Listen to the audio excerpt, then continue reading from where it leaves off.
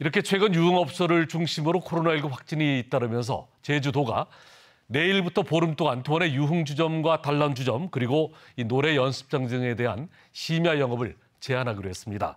또 확진자가 확산세를 보이자 스스로 진단할 수 있는 자가 검사 키트에 대한 도민들의 관심도 커지고 있습니다. 안서연 기자입니다.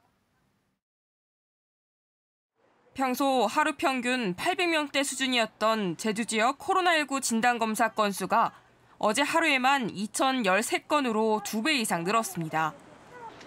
절반 이상이 확진자 동선으로 공개된 유흥주점과 장례식장 등과 관련한 검사였습니다. 이처럼 최근 노래 연습장에 이어 유흥주점에서까지 확진자가 잇따르자 제주도가 관련 업종에 심야 영업 금지 카드를 꺼내들었습니다. 내일 정오부터 보름 동안 도내 유흥주점과 단란주점, 노래연습장 1,600여 곳은 밤 11시까지만 영업할 수 있습니다. 위반 사항이 확인되게 되면 과태료 300만 원 이하의 과태료, 그 다음에 형사 고발, 다음에는 그 중대한 위반이 될 경우에는 저희들이 구상까지 청구를.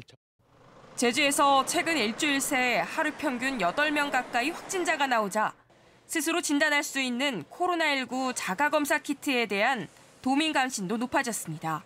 뉴스에서 방영이 됐, 그러니까 방송이 됐기 때문에 문의 전화가 많이 오는데 지금 어, 제품이 들어온 거는 지난주에 들어왔고요. 지금 하루에 한 10건 정도 문의 전화가 오고 있어요. 자가검사 키트는 오늘부터 도내 한 대형마트에서도 판매가 시작됐습니다. 이제 약국뿐 아니라 이곳 대형마트에서도 쉽게 자가검사 키트를 살 수 있게 되는데요. 보조적 수단으로만 이용해달라는 문구가 적혀 있습니다. 제주도 방역당국은 자가검사 키트 결과만 믿어선 안 된다며 증상이 있으면 반드시 선별진료소에서 검사를 받아달라고 부탁했습니다. KBS 뉴스 안서연입니다.